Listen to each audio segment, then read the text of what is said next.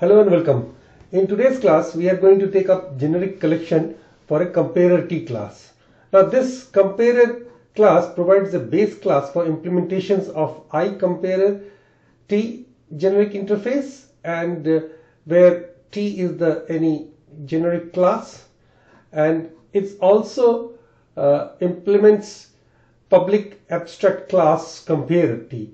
So heading straight to the code. Now we have got Visual Studio open. So click on File, New, Project. We'll build a console application. Console application. Uh, .NET framework. That's fine. It's already selected. So I will name this uh, as Collections Demo.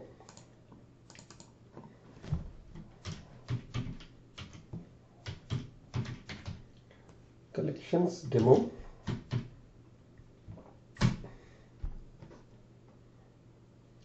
and in this example I will um, derive a class table length first from the comparer T class. Now this comparer compares two objects of type table and it sorts them first by length and then by height and then by width. Now this box this table class implements the iComparability interface to control the default comparison between the two table objects. This default implementation sorts first by height, then by length and then by width.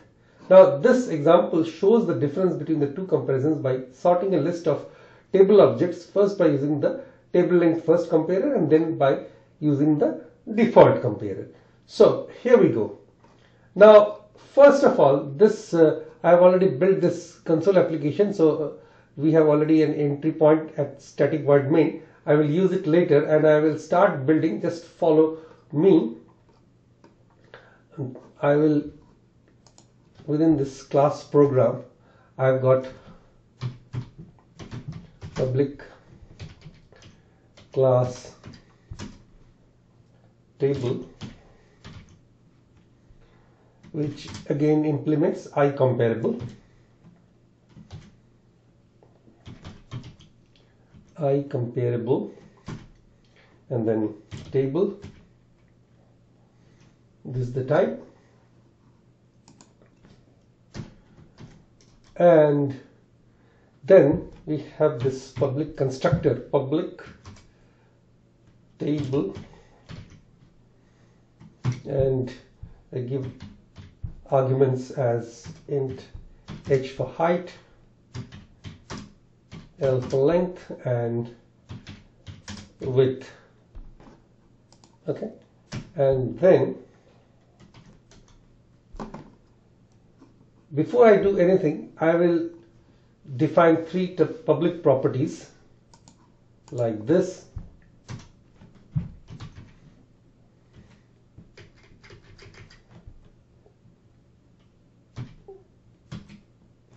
So writing prop and tabbing, you will create a default int public property and you can rename it.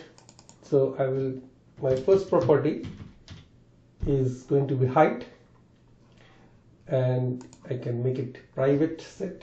So it could be set from this scope of this class only and similarly I'll just copy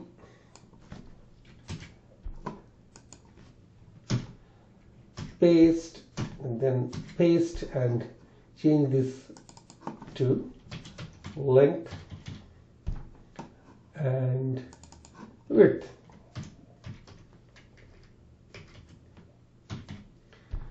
Right and then I could just fill the constructor with this dot height equals h. This dot length equals L and this dot width equals W. Okay, and then if you look at this IComparable, it is telling me defines program table doesn't implement interface member okay so it automatically generates the implement interface. Okay. So it automatically creates the interface member that I need to implement on this class because I am deriving from this IComparable. So int IComparable compared to table other. Okay. So here it actually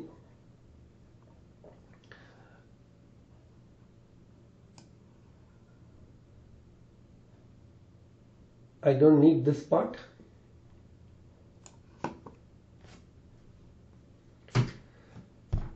Public I can make it public. Uh, int CompareTo and I'll have to write the code over here. It automatically generated the stub for me to write and then okay that's fine. I'll let me complete. And you see if you look into the definition of this IComparable interface if you go to the definition so it comes over here it has got a integer returning um, method which is known as CompareTo and it takes a, a generic type t as a parameter right so if you look at the summary it compares the current instance with another object of the same type and returns an integer that indicates whether the current instance precedes, follows or occurs in the same position in the sort order as the other object. Okay, and other is an object to compare with this instance. So, coming back to the program, I'll just close this. I'll implement this method. So, if this dot height dot so this IntelliSense exposes all that is available here. So CompareTo now if you yeah left open the curly brace it will give um, the circular brace it will give you the two overloads. So int int dot CompareTo int value it takes int value or the second one is object value. So I'll go for the first one. So other this is the other table. That's height I need to compare with the present object. So other dot height okay? And it compares if it is not equal to 0 then do this return this dot height dot CompareTo compared to what? Compared to other dot height. So just copy from here to save time.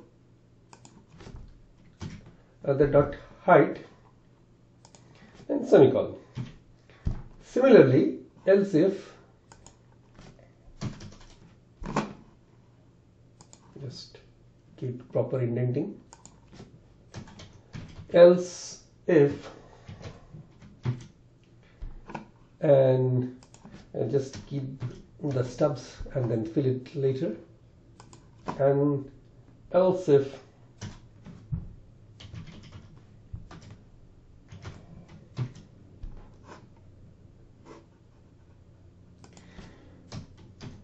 and then final else.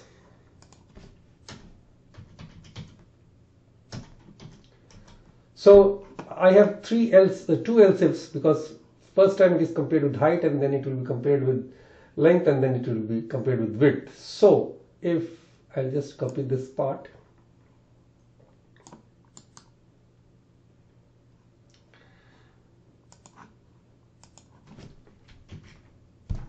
and then this part and then make the necessary changes because I am a Sometimes I'm lazy, just try to avoid minimum coding. Uh, this dot length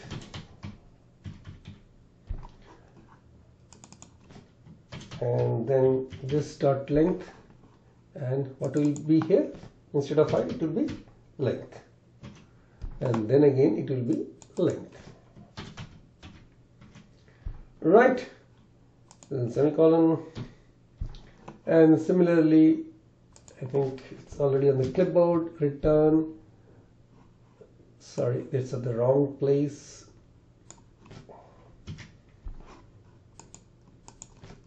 should be here.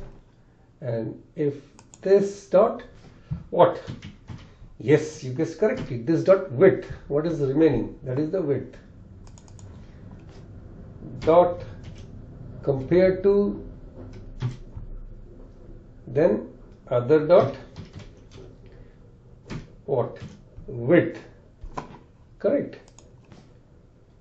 Not equal to 0 that's how the comparison works.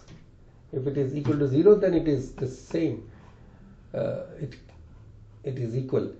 And then finally this is also this will be this dot width dot CompareTo this dot width dot CompareTo other dot width. That's it. Now else return 0 because I have to return any an integer and I am not returning anything but 0 if none of these three branches um, are true these conditions then it returns 0 and that's all for today. But before leaving I'll just build. Control Shift B.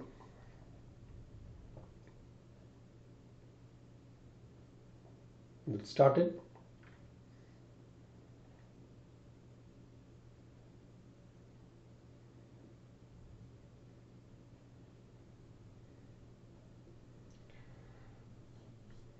yeah build succeeded so in the next lecture I will take up from here and build the other necessary chunks for this class to work.